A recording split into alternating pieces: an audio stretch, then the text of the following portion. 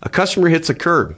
On the one side, they manage to hit the wheel, the tire, and also take out the wheel bearing. What should you do about the wheel bearing on the other side? Well, you don't need to replace it. And we're going to find out why next. This video is sponsored by BCA Bearings, the number one supplier of OE quality hub assemblies. Visit bcabearings.com for more information. You probably know that tires should match side to side and, if possible, front to rear on a vehicle. But what about bearings?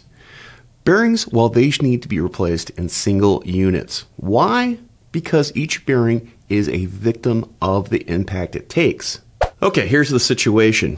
One of your customers has managed to hit a curb going around a corner.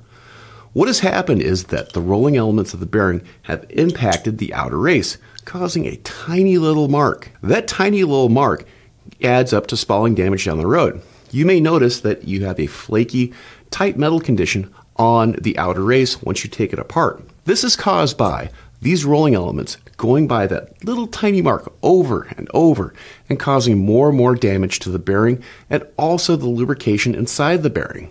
Over time, that tiny little mark starts to make noise. Then it starts to have play in that wheel. Also, an ABS code can be set by the ABS system because chances are the wheel speed sensor is part of the bearing itself or the hub unit. So the bearing on the other side of the vehicle, it didn't hit that curb.